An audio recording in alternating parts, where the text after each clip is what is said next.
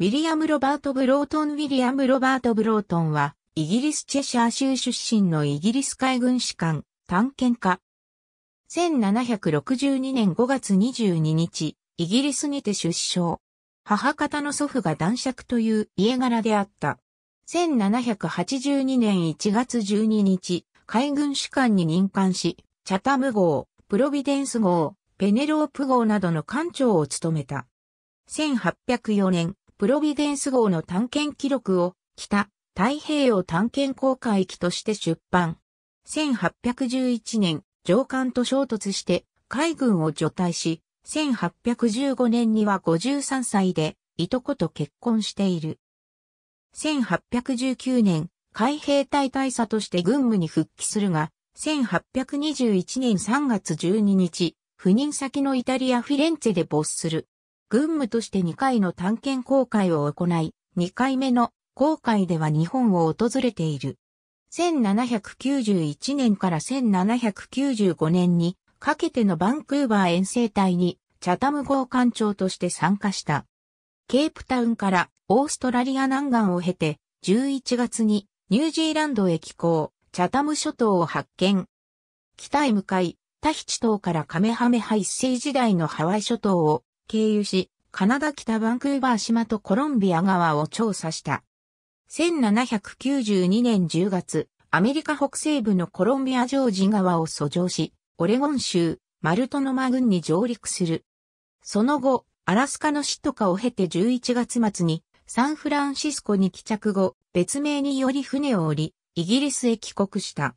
ブロートン日本初上陸地であるアブタの海岸1793年10月に就任したプロビデンス号艦長として、バンクーバー遠征隊支援と北大西洋調査を命じられ、1795年に出版した。12月16日にキリバスのカロリン島を再発見し、翌年バンクーバー島を再訪、調査する。遠征隊支援を終え、太平洋を横断して航海に入り、イギリス人として初めて朝鮮半島沿岸を航海する。さらに北上してヨーロッパの地図上で空白地帯だったヨース港からカラフト、北海道沿岸と千島列島の測量調査を行った。1796年8月に内浦湾に面する東野湖町アブタで日本初上陸を果たし、9月には室蘭に寄港して船体の修理を行っている。冬を越すために12月マカオへ寄港する。厳しい北太平洋の調査に、両船の必要性を感じ、スクーナープリンス、ウィリアム・ヘンリー号を買って2隻で、マカオを出港するが、直後の1797年5月16日、プロビデンス号は、宮古島沖の八重菱で座礁、沈没してしまう。一旦マカオに戻った那覇港に寄った後、太平洋岸を北上し、仙台や函館を訪問するが、正木藩には歓迎されず、そのまま日本海へ抜けている。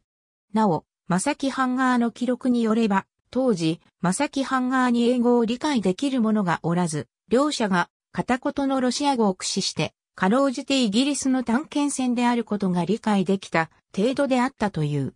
1798年5月、セイロン島で船を降り、翌年本国に帰国した。ブロートンの名にちなむ地名や、ブロートンが命名した地名が、いくつか残されている。